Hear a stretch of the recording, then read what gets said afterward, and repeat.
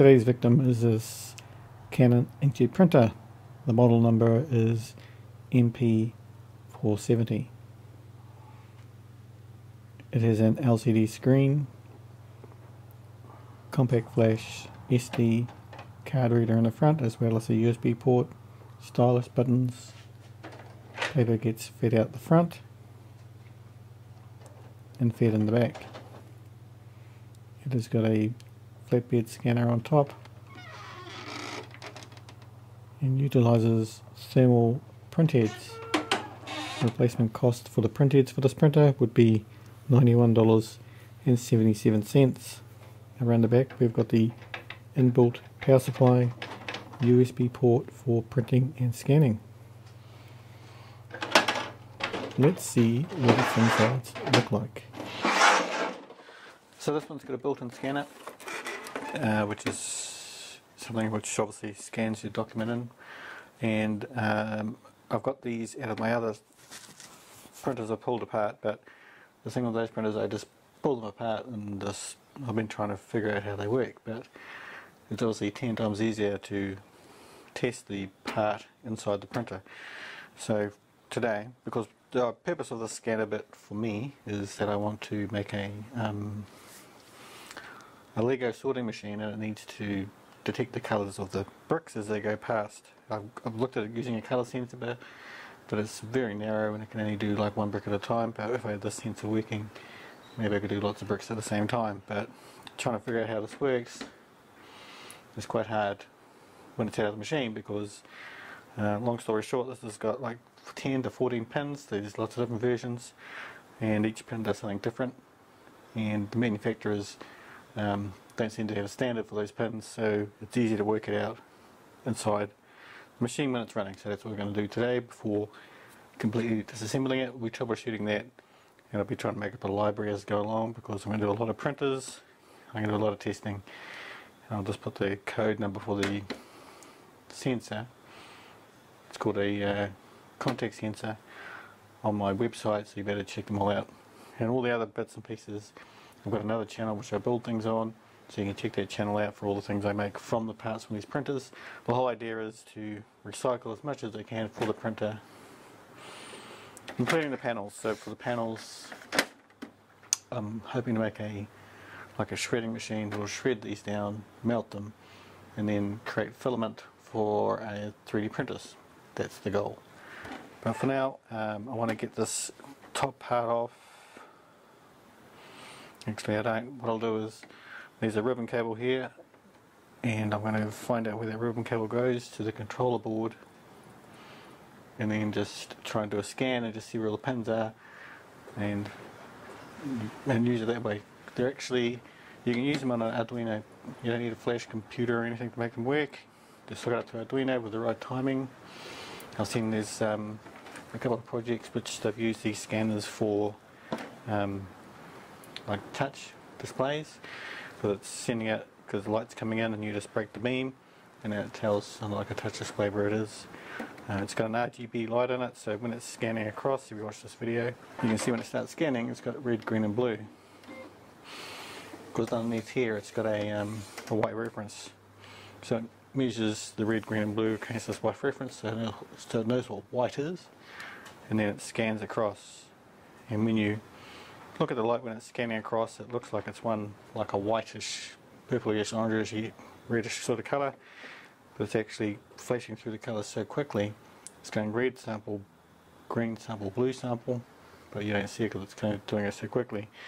It's going across, and that's why these scanners are so slow, because the hardware is not, you know, super control, super computer material. It's just a crappy old controller, and it's scanning the pixels across the image there's 2700 of them normally. So scanning, and then three different color, three different colors, and then uh, storing it in the memory, and then copying it out. So there's a lot going on. But like I say, all these connectors, they can have different amount of pins, they all do different things. So the best thing to do is to fire this up, and then use a multimeter to try and work out what each pin does. So you have this is your red pin, a green pin, and a blue pin for the light. It's got a clock pin, it's got a latch pin, it's got a power pin, it's got a ground pin. So minimum, there's going to be seven or eight pins, right? But ones I've got before, they've had, they've had like 11 of them and 14. It's weird. Nothing makes any sense. So the best to do it when it's in the printer. So I'm going to spin this around, try and find out where this ribbon cable goes for the scanner, do a scan, and see if we can find out which each pin does. I don't know an oscilloscope, so if I can narrow down the LEDs and the ground and the power, it's just a case of trying the other three pins to see what they do.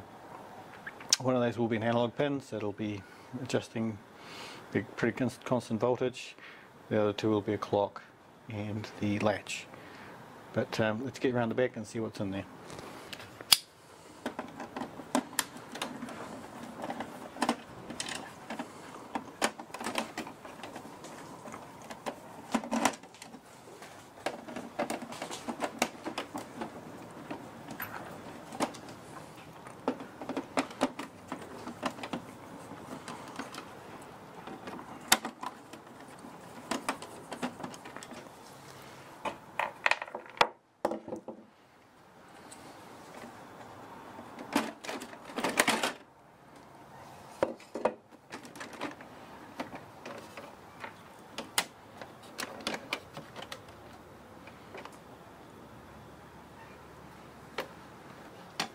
Our printer control board, which makes does all the singing and dancing, and I'm.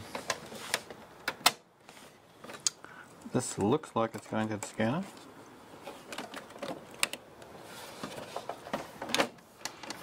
But I don't think it is.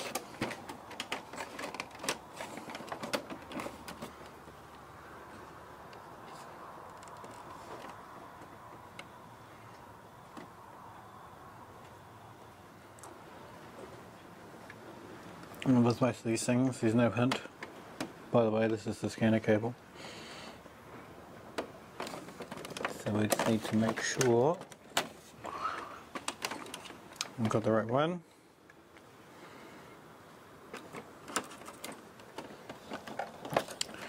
I'm thinking it's this one here.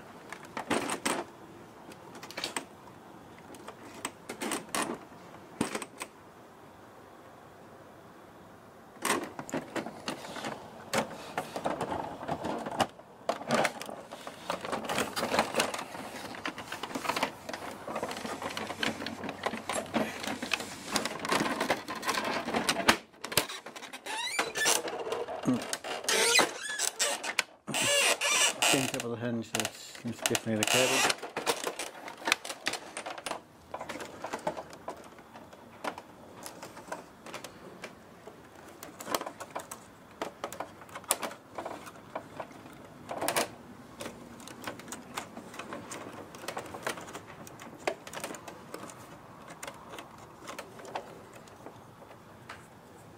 The connectors are on the top side, so it's going to be a bit of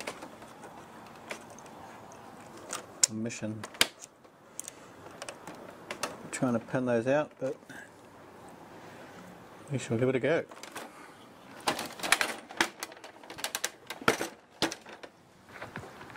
So here's our scanner connector, and it's got 12 pins on it, uh, and they're not going to be marked anywhere, right? No one's going to say this pin is for power, this pin is for ground, this pin is for clock. So you've got we've got to try and work out what they are.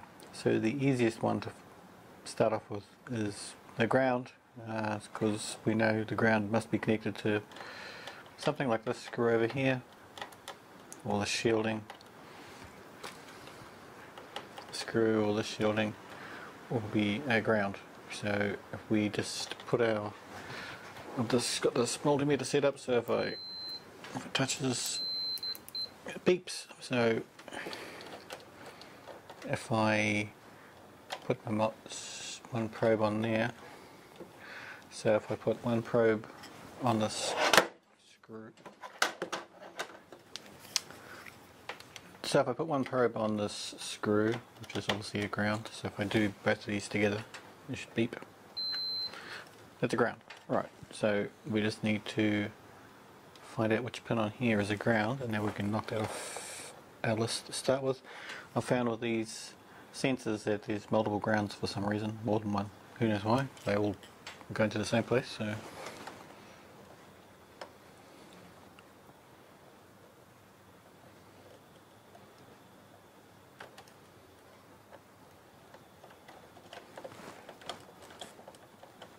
The other way around because this one's got a pokey end on it.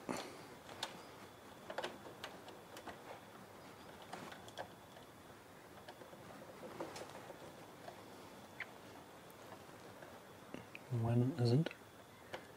Two isn't. Three isn't. Four isn't.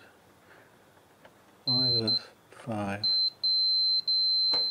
That tone, so five is definitely a ground. Six is not. Seven isn't. Eight isn't. Nine isn't. Ten is. So six and ten. So 5 and 10 are our ground. So now we just need to find what is the power, well not just, we're, gonna, we're not even halfway there.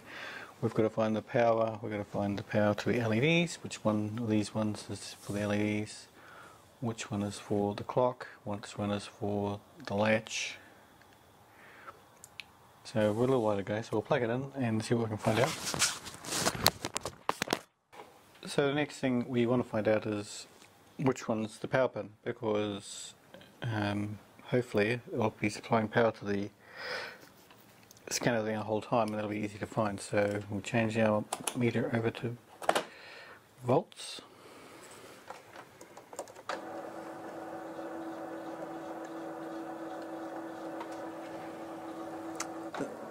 This one is 23 volts, which is a lot.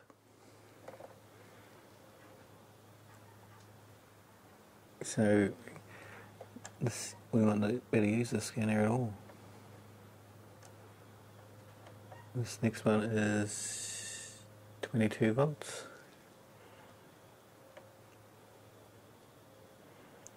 This next one is 21 volts and this next one is 21 volts.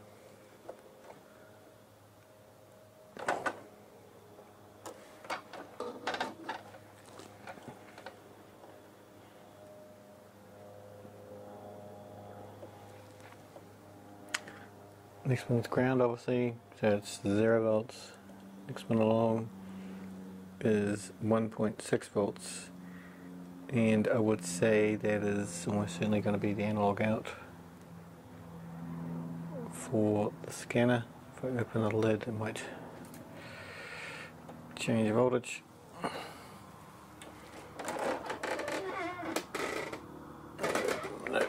it's parked at the same position so it's probably not going to care. And next one across is millivolts Next one is 3.2 volts or 3.3 volts pretty much it'll be.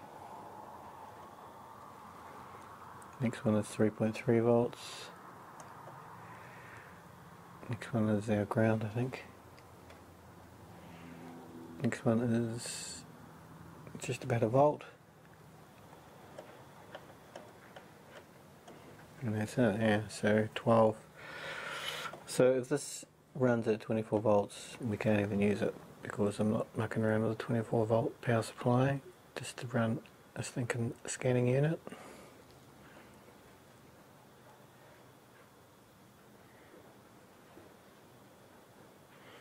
So we'll just we'll chuck some paper on it and um, see if this voltage changes but I'm not yeah I'm not interested in working with 24 volts at all. It's too ugly. The other scanning units I've had are all been around 3.3 volts. I'm trying to wrangle a 24 volt power supply just for a scanner. it. Is not worth the effort. So we'll give it a go with a copy and see what happens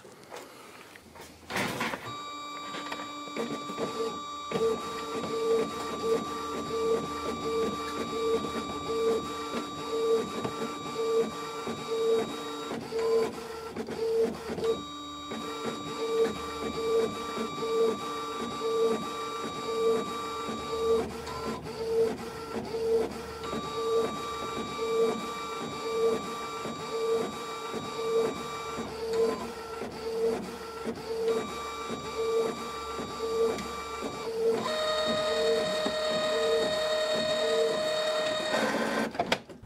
So the voltage pretty much stays the same when you're photocopying, so this is just going to turn into a stripped down video now because I'm not really too keen on using this sensor.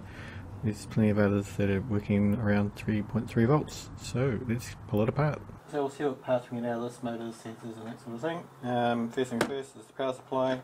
Obviously they have different power supplies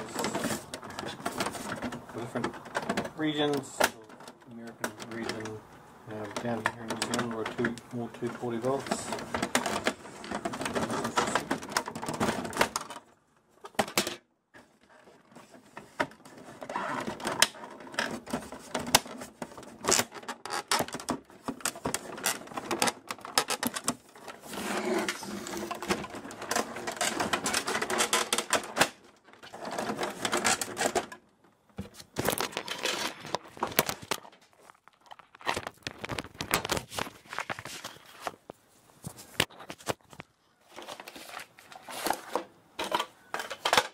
Printer's got arrows everywhere to pull panels off. I've never known them. The printer to be so helpful.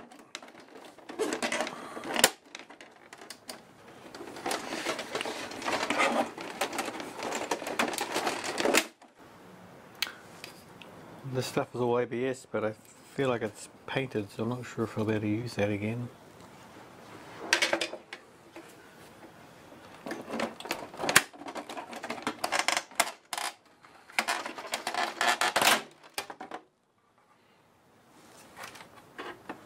Yep, all, this is all ABS as well. So if we grind it down, we should be able to make filament.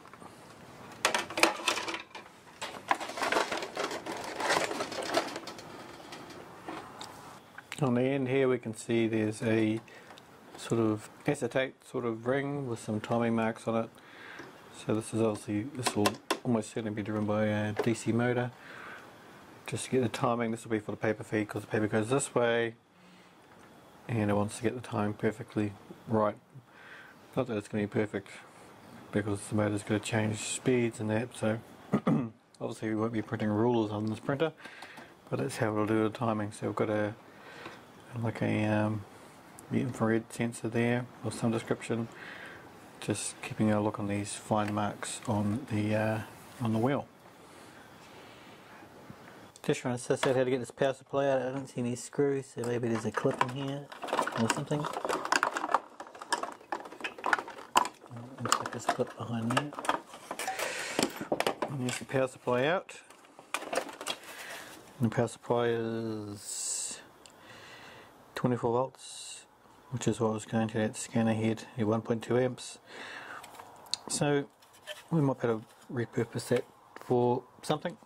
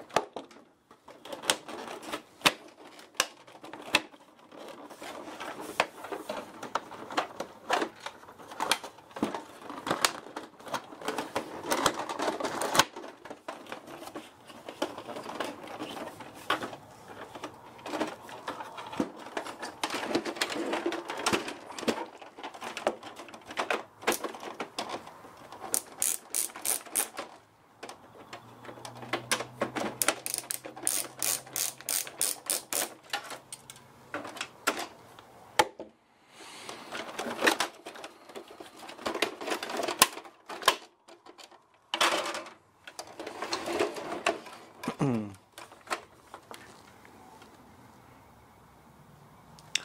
Just inside here we've got the card reader unit. Uh, it's going to be proprietary so I don't think I'm going to use it for anything else but if anything we better get some gold or copper out of it.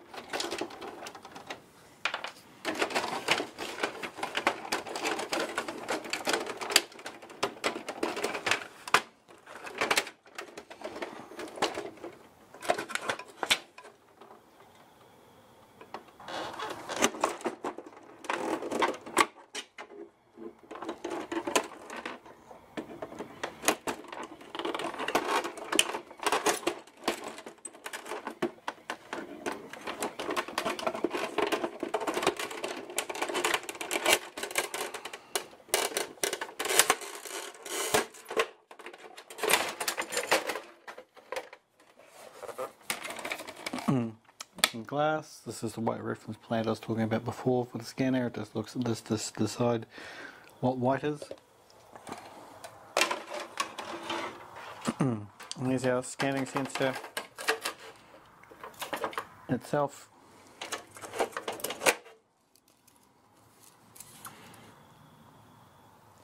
So the part numbers on here are QK1-3708 or 57Z12 or 409-40184F.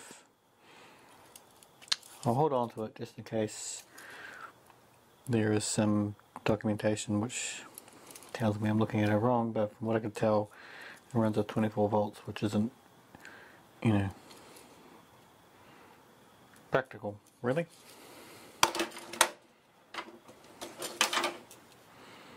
It's strange because normally there's a glass thing across the top here, but it's obviously just relying on the glass of the scanner.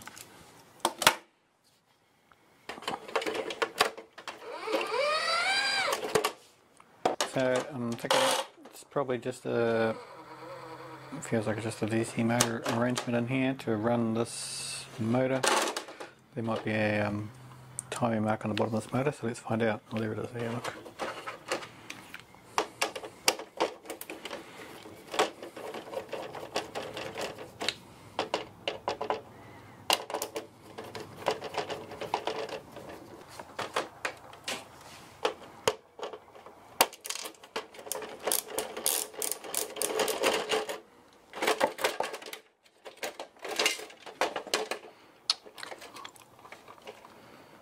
Nope.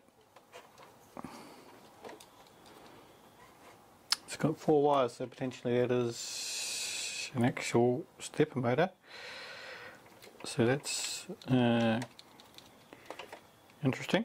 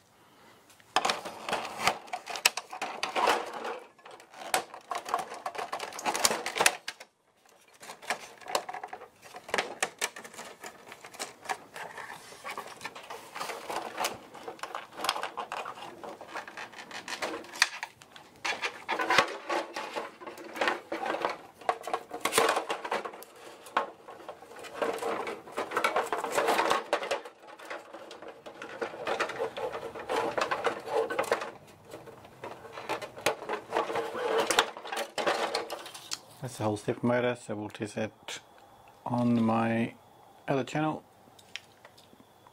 to see what it does.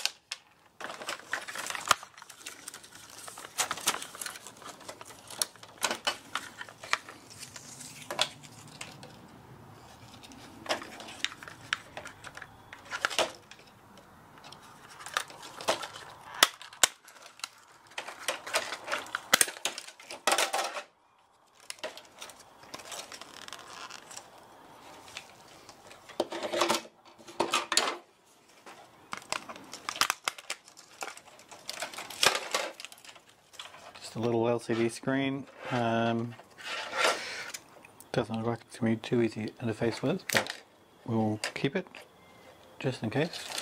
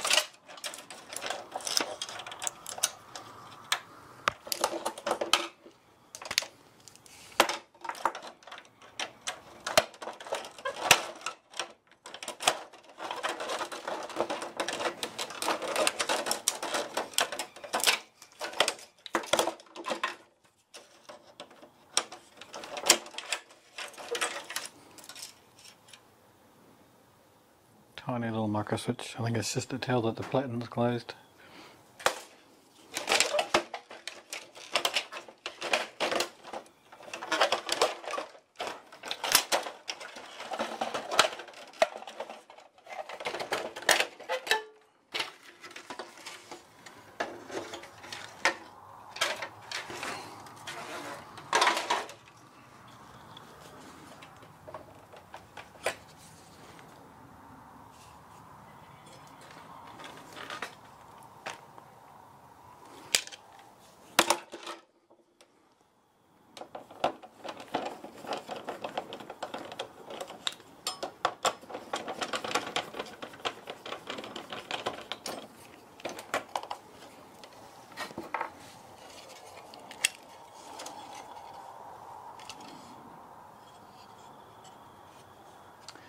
Show the edge of this printer not only has it got an SD card but it's got a compact flash as well. I haven't seen compact flash for donkey's ears.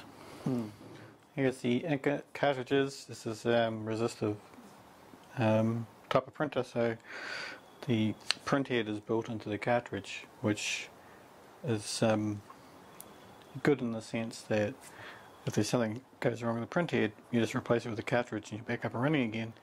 But it's bad because the price of the cartridges are uh, high because it's got to include the cost of the, the print head. Whereas the other ones which have separate ink tanks, they print to a print head which is built into the printer, but if their print head fails, then the printer's a throwaway. So it's, it's hard to say which is best. But for this one, if you have any issues with the printer, you just replace the cartridge and away you go. But of course the cost of these cartridges is more than a new printer.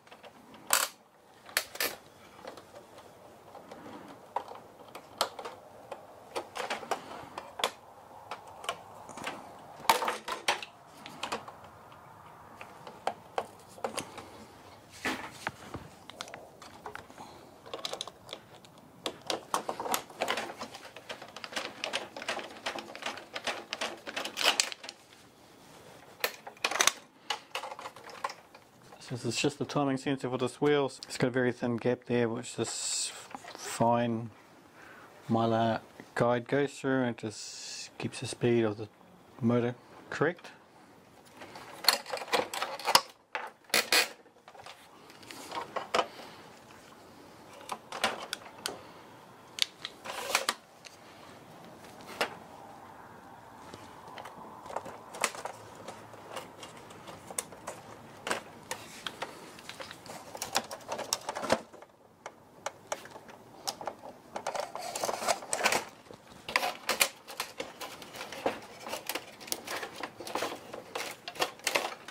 And along here, you probably can't see it, but there's a very fine, looks like a black bit of tape, but it's actually just got very fine lines going this way, which gives, there'll be a sensor in the print head, which keeps, tells the controller board where the print head is when it's scanning across.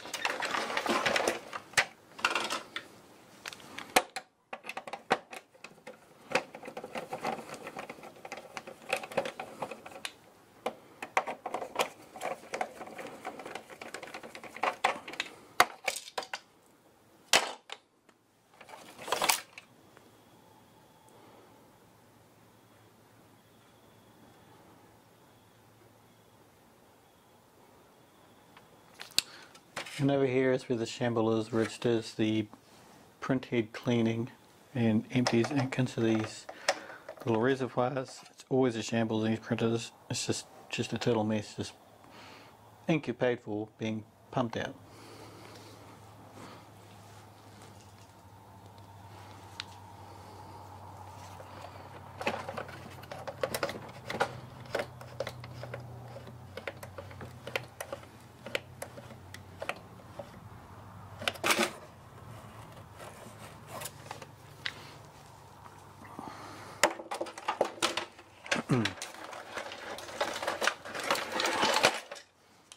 And this one looks like it's got a crazy assisted than normal. So it's got a massive sponge back here and a pump, an actual pump, pumping toner ink from out of here, out of this area into this sponge here to absorb it all. It's I've never seen that before, so um, we'll get the pump out and just see if that's the case. But from what I can see, it's got hoses going through the printer, sucking ink from out of here and dumping it into the sponge.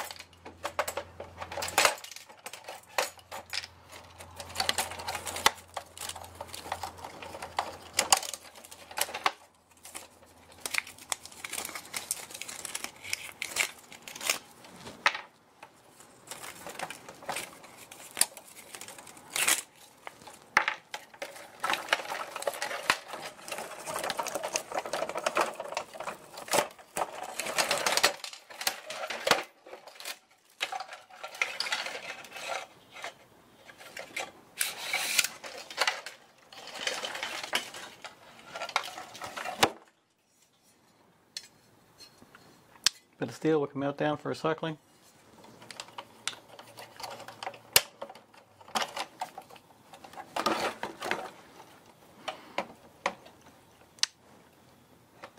Just a couple of sensors there, so if something passes through here, it must be a paper size sensor, something like that.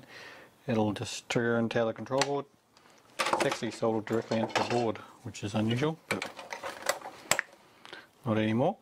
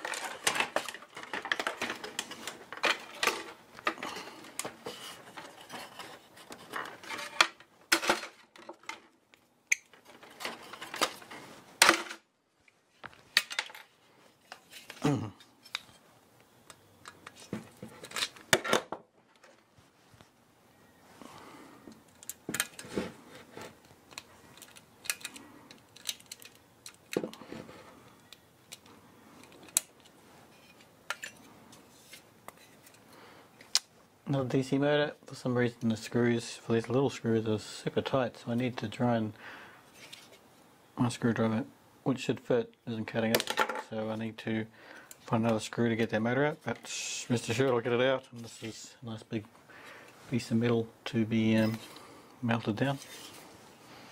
Here's sort of the feeder arrangement so it's got a roller here which feeds the um, paper in but underneath there's another roller which is um, what you call a retard roller so it doesn't feed two sheets at once.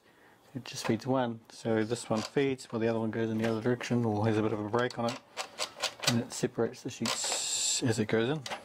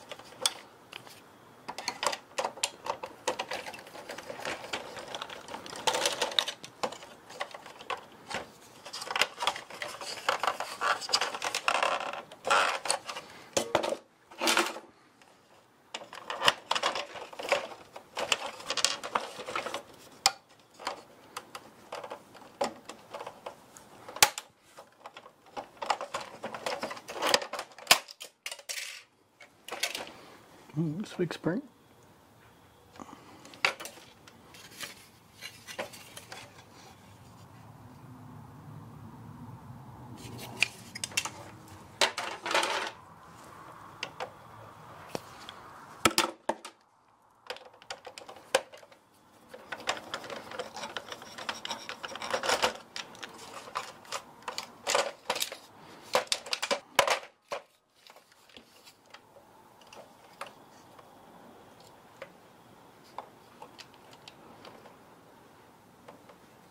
So here's this whole feeder pump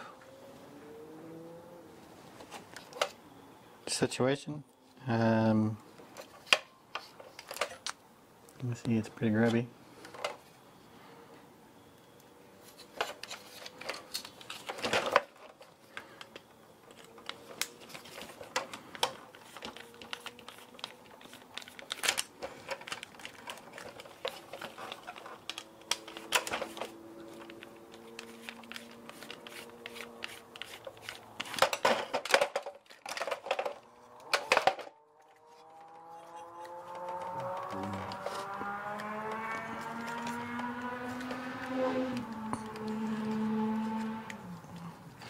So what it looks like is whenever it feeds a piece of paper through, it's using the same motor to um, just just pump ink out of this reserv out of this cleaning area into this massive sponge at the back, which is just sodden with cribbly. In fact, this is ridiculous. There's more here. This is all just drenched in ink. You can't do anything with it apart from put in the rubbish. It's the most it's the most amount I've ever seen in a machine.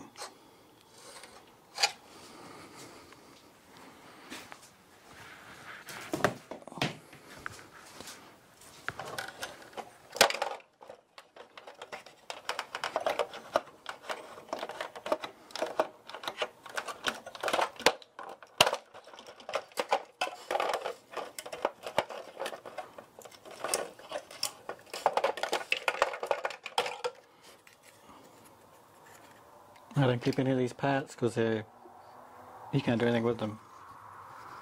They're covered in ink. I don't want to put them in solvents to clean them out, but it's just rubbish.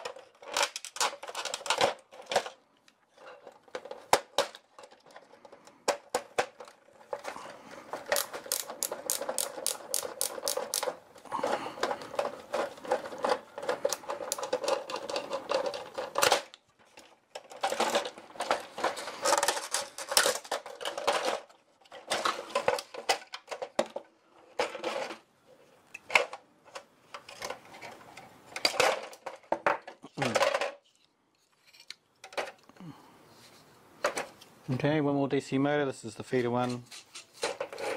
So right, so um, it's geared the way it is because it's probably not a very strong motor.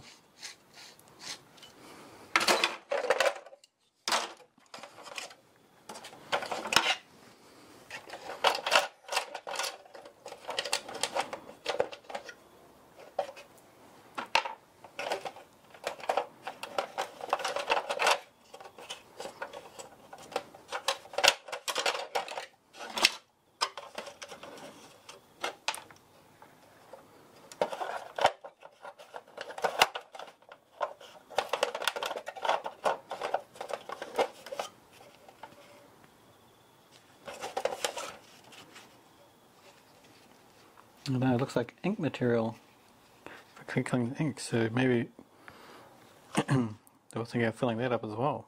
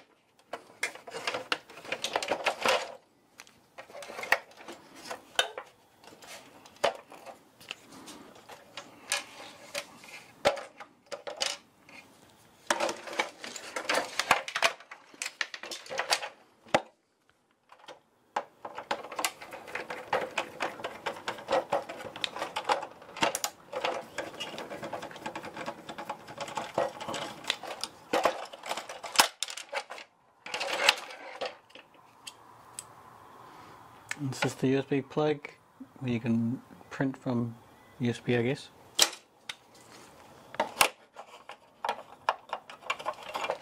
It's probably a really easy way to get that out, but not interested really.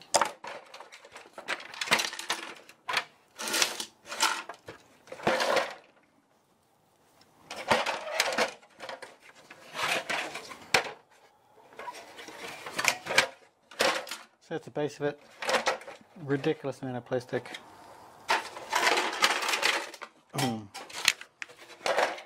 Rest of it, ridiculous amount of plastic.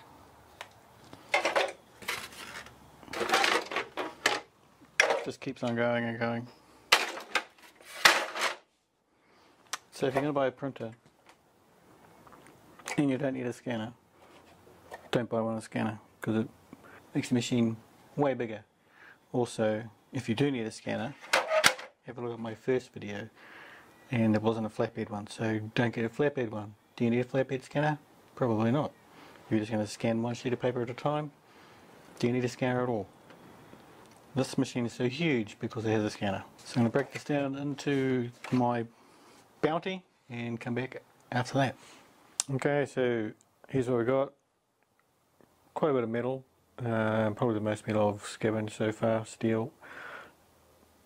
Boards, three boards in this machine, um, probably because of all the extra bits and pieces I did with the um, memory card and USB printing. 24 volt power supply in that scanner unit. Um, when I think about it now, I've got a 24, power, 24 volt power supply, so I probably could have just stuck with that power supply, but I'll research a bit more and if I find anything else, uh, check my other channel for developments on that part of it.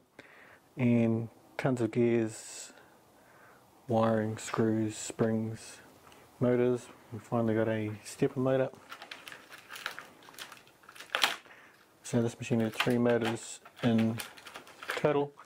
Um, and just an obscene amount of plastic. We also got the little LCD screen. Um, I don't think it's going to be too much fun trying to get that going, but if you um, check my other channel as well, I might have some feedback on that.